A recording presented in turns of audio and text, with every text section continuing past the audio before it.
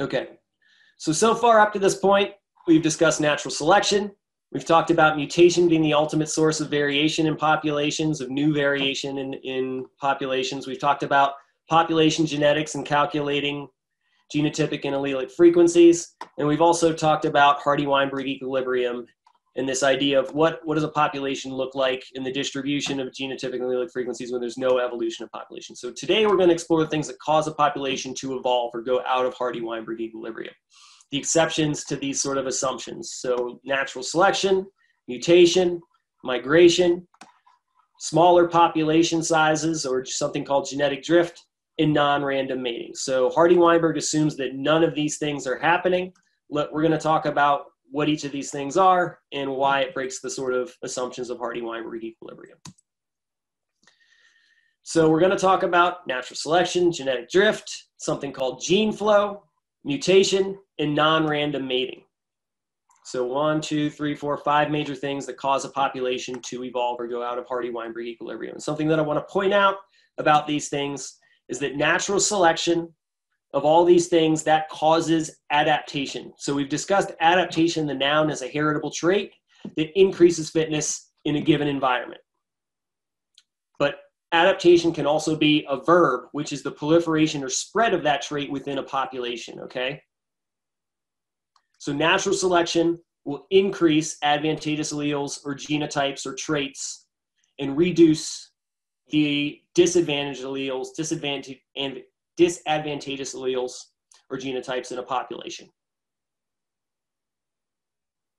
So natural selection causes adaptation. It causes the spread of these advantageous traits in a population and thereby the alleles and genotypes that are associated with those traits. These next three, genetic drift, gene flow, and mutation, I haven't talked about what they are yet, but I want you to know before we even get into them that these do not directly cause adaptation. So these will not select for advantageous traits. They will not select for advantageous alleles. They will not select for advantageous genotypes. All of these things are random changes in alleles or genotypic frequencies in a population, okay? So who survives and what alleles change in a population over time because of genetic gene flow or mutation are completely random. It's not because they have some selective advantage. In a non-random mating, typically you don't have adaptation. So typically you're not selecting individuals that have some advantageous trait, but occasionally it can lead to adaptation. We'll discuss the sort of nuances of that. Okay, so first I just want to talk about natural selection. We've talked about it a million times before. We spent an entire lecture talking about it. Um, we talked about this example in Blueville. We have population one, the predator comes in, eats all the individuals that aren't blue and rend in, uh, blend in with the environment, and then mostly blue individuals with this AA or the big A alleles proliferate in the population. And we stress that natural selection acts on phenotypes or physical appearance, not on genotypes. So this predator can't see the genes, it can't see that this blue individuals have big A alleles. All it can see is that blue individuals are blue, and therefore it's not as good it's seeing them and it doesn't eat them as much. So it doesn't care about the genes that they have or the alleles that they have. It cares about what those individuals look like. So natural selection acts on phenotype, not genotype. And in general, natural selection reduces the frequency of what's called del deleterious alleles or mutations. And all those are are those that cause a decrease in fitness in a particular environment. So in this case, if you have those little a alleles, you're going to be red or purple those are deleterious traits or deleterious alleles in this particular population at this particular time because it causes individuals not to blend in with the population. And it increases the frequency of advantageous alleles or mutations or traits, or those that increase fitness in a particular environment. So in this case, having the big A alleles and being homozygous dominant for that trait, you're blue, you blend in better, and there's selection for those advantageous alleles within the population such that those big A's are increasing in population number two. And as we said before, this leads to adaptation or a spread of these heritable traits that increase fitness in this given environment. So we see a proliferation of that blue trait and a proliferation of those big A alleles that are associated with it. So those individuals that survive are not random there's adaptation occurring here. where those with advantageous traits are surviving and reproducing more. And we see examples of adaptations all throughout nature. So whether you've got these trapdoor ants that have evolved this adaptation that they can sort of plug up these holes to plug up and protect the nests where their eggs are laid. Um, so they sort of act like a trap door, letting individuals in that they want and keeping individuals or predators out that they don't want. Or you see crazy traits like this octopus that's moving around over here, where it has these special melanophores that are allowed to change color and blend in really well.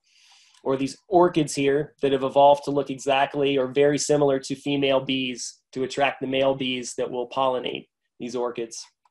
You can see here an example of a predator that's uh, has these adaptations to basically blend in really well with flowers so that it can capture uh, pollinators when they come in to pollinate the flowers. And this caterpillar here, this thing in the corner, it may look like a snake. This is actually a species of caterpillar that's evolved so that its head looks like a snake head so that birds won't come and eat it. So this is the head of the caterpillar right here. This is the butt end of the caterpillar right here. And so these are all examples of pretty cool adaptations that natural selection has selected for. And you can see that there's obvious reasons that those traits would be selected for to help in the survival of the organism. Now, in general, there's three major types of natural selection, stabilizing, directional, and disruptive. So stabilizing basically just selects for the middle value of a trait or it selects towards the average. Directional selection selects for an extreme value of a trait in one direction. So either like, you know, taller individuals, or maybe it could go in the other direction, shorter individuals, but it only goes in one direction. And then you also have disruptive. So disruptive is basically those individuals with the sort of median or average value of a trait are selected against, and those in extreme values are selected for. So just looking at these in a little bit more detail, starting with directional selection. Basically, you have a trait changing in one direction. Um, so a great example of this is size and swifts after a deep freeze. So what happened was those birds that had larger bodies were able to survive uh, a really hard, cold winter and kept from freezing. And so individuals with smaller body sizes froze and died those with larger body sizes that we're looking at here in the bottom. So here you're just looking at body size class, and here you're looking at the percentage of birds in each of those size classes. And you can see that non-survivors after that freeze had a much smaller body size versus survivors had a much larger body size. And so you see a shift in the average size of individuals in the population overall. So this is directional selection for larger bodied individuals and against smaller bodied individuals. And so the trait changes, the trait of body size is changing in one direction towards a larger body size. And this can reduce the overall genetic variation for a trait in a population. So in this case, the population used to have a range in sizes going from one all the way to 12. And after the selection event, we basically got only individuals from six to 12. And so we've got an overall reduction, assuming that this trait is associated with um, genes or different alleles in the sort of size alleles that are available in the population after that selection event. And once again, you got adaptation. So an advantageous trait increases in its proportion in the population. In this case, birds' uh, body size. So another general type of natural selection is something called stabilizing selection. Um, in stabilizing selection, essentially what you have is selection reducing extremes um, on both sides of the sort of average distribution. A great example of this is baby size. Um, and so if you have a very, very small birth weight, um, typically you have much higher mortality um, in babies um, simply because they're born too prematurely and they can't survive. Or if you have a really, really large baby, oftentimes you have complications with birth as well. And so you have selection for medium sized babies or towards the average. And so this is called stabilizing selection, where individuals at the extremes of, in this case, birth weight, so really heavy and really light babies are selected against, and sort of average sized babies are selected for.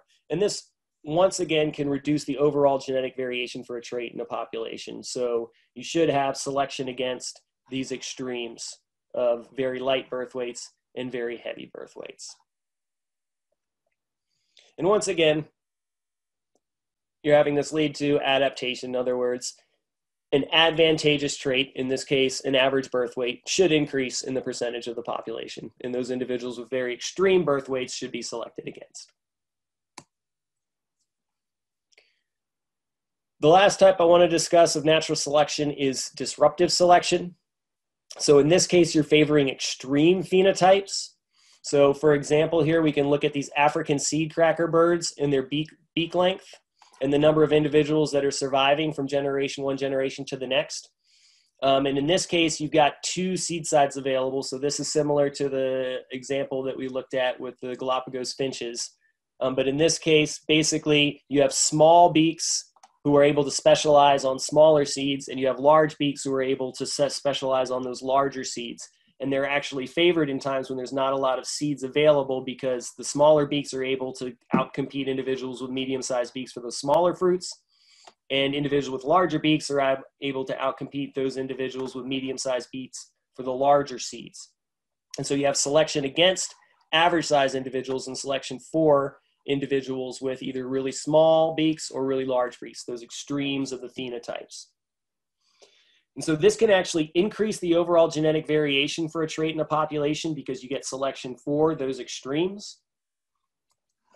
Um, it, and this, of course, leads to adaptation or an increase in advantageous traits in a population. But in this case, you can have two extremes, an increase in the small beaks, in this case, and the large beaks and this can actually lead to speciation. And we'll discuss what that means in a future lecture. But suffice it to say that this can actually make it so that these birds become so, so, so different over time that they actually become different species.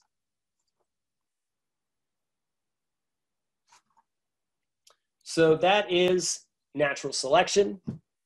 Now let's talk about genetic drift. So genetic drift are random changes in allele frequency from generation to generation. And these random changes have nothing to do with the allele effects on an individual's ability to survive and reproduce. So those alleles that get passed from generation to generation in genetic drift are just random by chance. It has nothing to do with any advantageous trait associated with those alleles. And we see genetic drift most often in small populations. And we see it most often with alleles or mutations that are neutral. Neutral in the sense that they don't have any effect on an organism's fitness. They don't have any real effect on its phenotype or its ability to reproduce from generation to generation. So if we look at genetic drift in an individual population, so this graph that we're looking up here on the top, and here what we're looking at is just a simulation of a population over time from zero generations all the way up to 100 generations. And we're looking at the frequency of alleles, in this case, a neutral allele that has no effect on an organism fitness over time. And so you can think of this as zero means that allele is completely lost from the population and one as in that's the only allele for this trait in the population. And what you can see is over time, when we're looking at a population with four individuals in it, when we go from a population size or that starts off with an allele frequency that's half one allele, half the other allele, over time, that allele becomes fixed in the population. So when we say fixed in the population, what we mean is it's the only allele left in the population. So it becomes only big A in the population. Whereas the other version of that allele, so the little a in this case, becomes completely extinct from the population or is eliminated from the population. So over time, what we're seeing and in the small population, and this is just a simulation or a single simulation of one population, that allele becomes fixed in the population. And if we do a bunch of simulations with a population size of four individuals, so each of these lines represents a different simulation of the effective drift on a population. When I see a simulation, what I'm saying is we just randomly say we're going to choose which of those four individuals reproduce and make offspring in the next generation. We're going to randomly choose which individuals re- reproduce and produce offspring in the next generation. And we repeat that over and over and over again for 100 populations. And what you see is when there's small population size, almost every single time, or actually every single time, the allele either becomes fixed in the population or it becomes eliminated from the population. If we increase the population size, so let's say we crank it up to 40 individuals instead of four, or 400 individuals instead of four, and do these same simulations, what you see is genetic drift is less dramatic in those populations when you increase size. So only one or two or maybe three of those simulations go to fixation. So when I talk about drift, what I'm talking about is the allele frequencies in the population are randomly drifting to different frequencies. So remember that a change in allele frequency is evolution. And just randomly what's happening is the allele frequency in the population is changing or the population is evolving over time just by chance. This is called genetic drift. And we see that drift is way more pronounced as population size decreases. As population sizes get bigger and bigger, we see that this drift of the populations or these changes in the allele frequencies over time, that drift gets way less pronounced and we don't have fixation occurring as the population gets bigger and bigger and bigger. Okay, so the big sort of take homes from these figures is that in smaller populations, they're much more susceptible to random changes in allele frequencies. They're much more susceptible to drift. And in larger populations, they're way less susceptible to drift. So if you're in a larger population, drift is way less likely. You're way less likely to have these random fluctuations or random changes in allele frequencies. So why is that? Why is it that larger populations are less susceptible to drift? And why is it that smaller populations are much more susceptible to genetic drift? So let's think about a population with four individuals. So one, two, three, four individuals. These are the genotypes of each of those four individuals. And this is the allele frequency in the population, where the dominant allele represents half the alleles and the recessive allele represents half the alleles. And let's say, just by some chance event, these three individuals end up reproducing in the next generation, and this individual does not reproduce in the next generation. This is purely by chance. It has nothing to do with any selective advantage that, that, in, that this individual has or these individuals have over this individual nothing to do with fitness at all. It just happens that just by chance, this individual dies or doesn't get to reproduce. Now, if we look at the allele frequencies in the population now, it's automatically shifted from 0.5 to 0.33 for Q and 0.5 to 0.66 for P, just because this individual randomly died. So this population has evolved just by chance. And there's been a big shift in the allele frequencies just because this one individual represented so much of the proportion of that allele in the population. Whereas if we look at a really large population, if we have one individual disappear from that population, it's not going to have a big effect on the allele frequencies in that population because that individual doesn't represent as large a proportion of the alleles overall or the frequency of those alleles in the population overall. So it's going to have way less of effect. So that's why large populations are way less susceptible to this genetic drift and random fluctuations in a population. So this is one way that this idea of genetic drift or random fluctuations or changes in allele populations happen over time. This is just sort of random fluctuation, random individuals are able to reproduce, and you get these sort of random changes in allele frequencies over time. The other way it can happen is through founder effects or bottlenecks.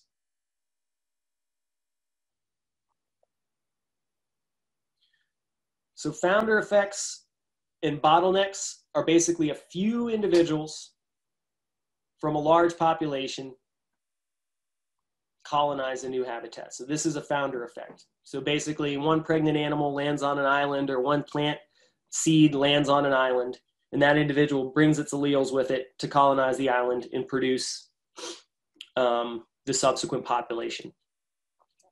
You can also have something called a bottleneck, and this is basically just a really sudden constriction of population size, typically caused by some sort of natural disaster, like earthquakes, a flood, a drought, a fire, or just humans annihilating the habitat in a very short period of time.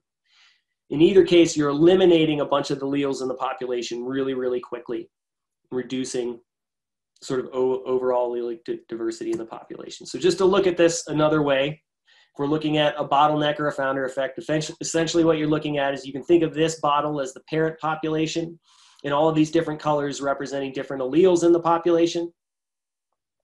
And then some sort of bottleneck or founder effect occurs, okay? So for some reason, only a few individuals arrive at a new site or survive some catastrophe.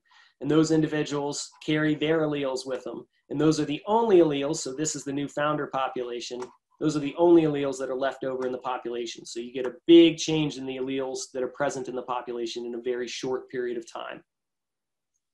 And it's important to note that those alleles that make it through this bottleneck are random. Okay, so it's not individuals that have a particular trait that gives them some sort of selective advantage. Those individuals that make it through this bottleneck are completely random.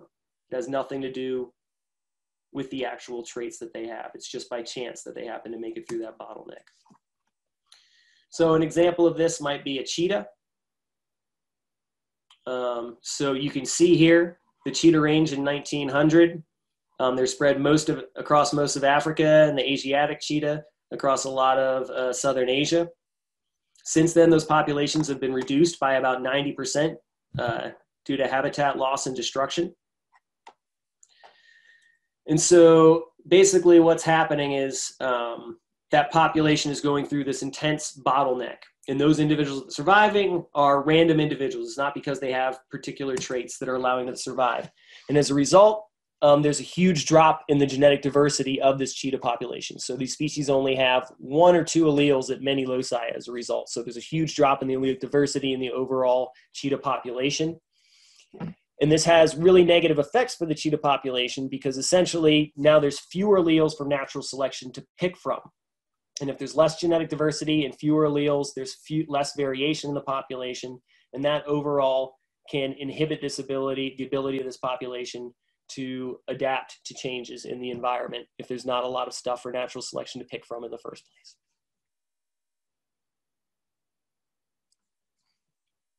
So an example of founder effects. So we talked about um, bottlenecks. We also have these things called founder effects. So founder effects is essentially one individual is a pioneer that establishes a population. Um, a great example of this are these things called silver eye birds, where they started out on the Australian mainland, like you can see right here. Um, and then they went from the Australian mainland, they went and landed on Tasmania. So one individual established a population on Tasmania, just randomly got sort of blown over there uh, in a storm. And then from Tasmania, another random individual was able to establish a population on New Zealand, so on and so forth. As you can see, new individuals founding new populations on different islands and different parts of islands. And if you look at the allelic diversity in the populations on each of those islands as you have new founders moving across these different islands what you see is the allelic diversity as you move from each island decreases over time.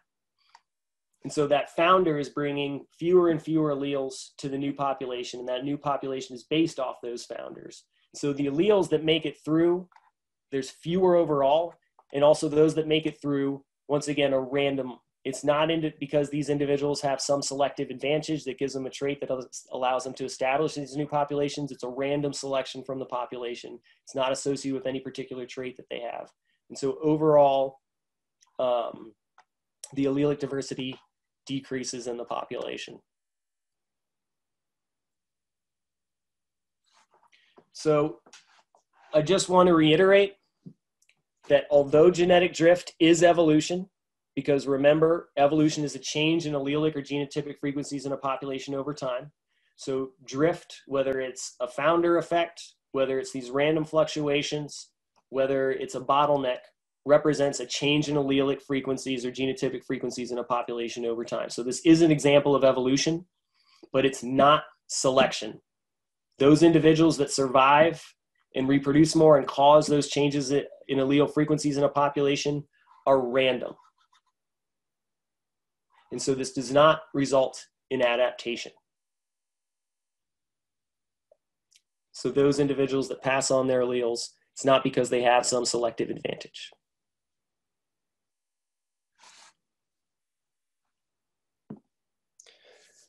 All right. I know I'm covering a lot of material here, um, but we're going to move on to the next thing, which is gene flow or migration.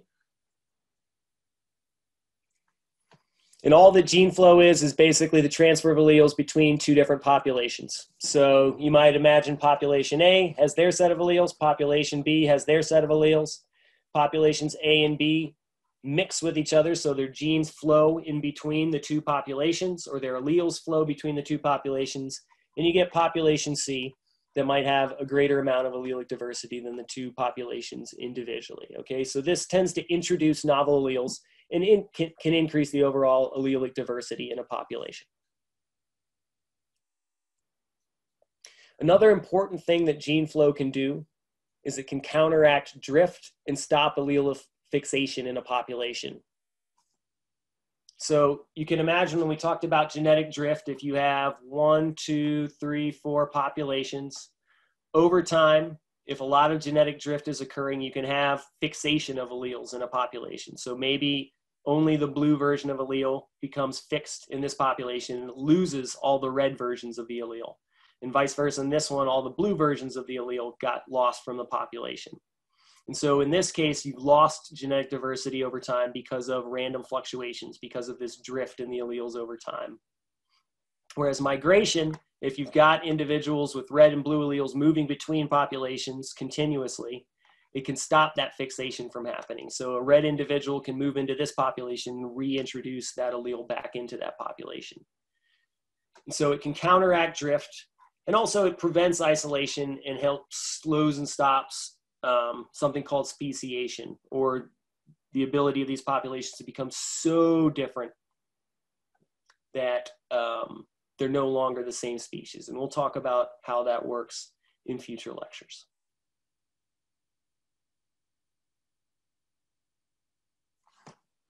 So I want to reiterate here that gene flow is a type of evolution in the sense that gene flow introduces random changes in the allele frequencies from generation to generation. And so if you have new alleles, so let's pretend these spiky frogs here have the spike frog allele, and they introduce that allele into this population, that will potentially alter the allele frequency in that population. So by definition, that population is evolving. But what I'm saying is it's random, the alleles that come in here. It has nothing to do with any selective advantage of these spiky frog alleles. It's just a change in the frequency of alleles in a population due to the random introduction of new alleles. Okay, so this is not an example of adaptation. It's not due to any allele effects on the ability to reproduce and survive. And the genotypic frequency is not um, or I'm sorry, that change in genotypic frequency or that gene flow does not directly result in adaptation.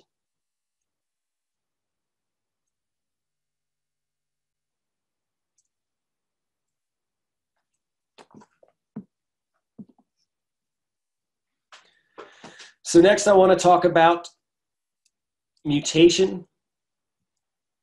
So remember that mutation is just a random change in a DNA sequence or structure. And the example we used here was the DNA sequence for red blood cells, where you can get a single point mutation that gives turns normal red blood cells. If you have a single point mutation in the nucleotides here, you can end up with sickled red blood cells.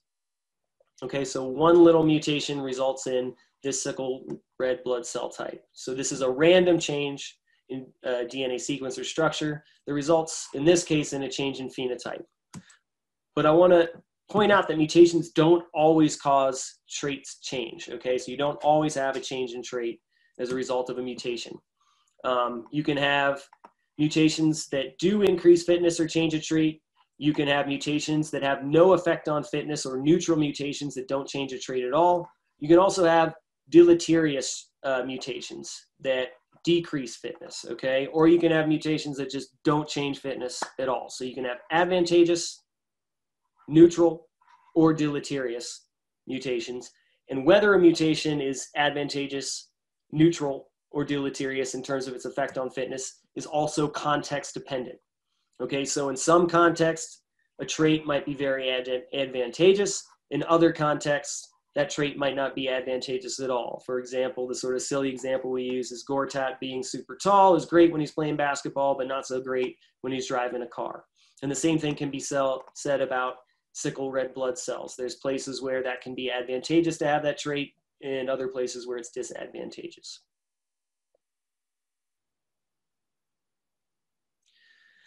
And so mutations, if you introduce mutations into a population, you're by definition introducing new potential alleles into the population and by definition changing the allele frequencies in a population and therefore by definition that population is evolving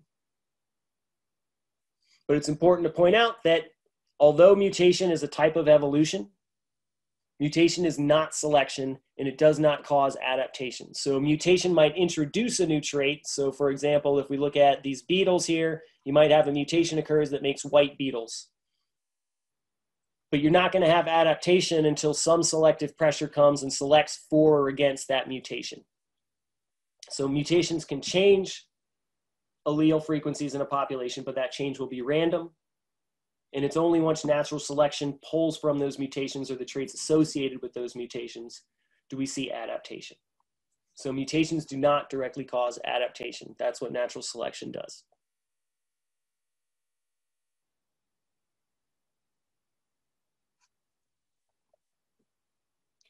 So the last exception I want to talk about for Hardy-Weinberg equilibrium is non-random mating, an example of which would be inbreeding. So Hardy-Weinberg equilibrium assumes that populations mate randomly or individuals in a population mate randomly. In non-random mating, individuals are preferentially chosen based on their genotype and the associated phenotype. So for example, in random mating, so you can have this AA individual, and that AA individual has an equal chance of mating with any of these particular genotypes and the associated phenotypes in the population. Okay, so from the perspective of this AA individual, whether you're a blue dot, a red dot, or a purple dot, everybody looks like Brad Pitt. You're equally sexy. Okay, so there's no preferential treatment for any particular phenotype and the associated genotypes. This is what Hardy-Weinberg equilibrium associate, uh, assumes is happening. So you have an equal chance of pulling any of those particular alleles out of the population when individuals are mating. In non-random mating, this blue individual has a non-equal chance of mating. And so some individuals, and this is just, I just randomly picked that the big A, big A individual, that's also the blue individual, is preferred by this big, uh, this blue individual. So this is the Brad Pitt of the litter. Whereas these other two individuals are not as attractive to this blue individual. And so it's non-random who this blue individual chooses to breed with. So some individuals are sexier than others. And as a result, you'll get an artificial increase in these big A, big A individuals or this big A allele. So the idea here is that in random mating, you're going to follow the predictions of Hardy-Weinberg equilibrium. In non-random mating, you're not meeting the assumptions of Hardy-Weinberg equilibrium. You have a higher probability of blue individuals breeding with blue individuals, a higher probability of those egg and sperm combining, and certain genotypes and alleles are going to increase in the population. So you're going to get a shift or a change in allele frequencies over time as a result of those preferences. And a very specific example of non-random mating is something called inbreeding. And this is basically just mating with close relatives, okay? And we often find this in small or isolated populations. So this is more typical in smaller populations. And the big problem with inbreeding um, is that you tend to have recessive traits, and spe- especially deleterious recessive traits, um, pop up in the population as a result of inbreeding, and fewer uh, new and novel combinations of alleles. So you can think of relatives, for example, here that um, have a higher prevalence of this little a allele that's associated with some negative recessive trait. Whereas non-relatives might have different versions of the alleles. So these only have the A versions of the alleles for this particular trait, whereas non-relatives might have Bs, they might have Cs, they might have Ds, but a lot of different allelic diversity in those non-relative individuals. And so what happens is you can have this thing called inbreeding depression, where essentially you're having expression of deleterious traits and reduced allelic diversity. And so if you have non-relatives breeding, you can get different allelic combinations and less chance of these re- recessive, uh, negative, deleterious recessive traits coming out. Whereas with this inbreeding scenario, you can have little a and little a alleles combining and having these bad recessive uh, diseases or traits more likely to appear, and overall less allelic diversity. So these are some of the not negative consequences of inbreeding, which is a type of non-random mating. And we see examples of this um, in the real world. um, something in the Amish communities is something called Ellis Van Creveld syndrome.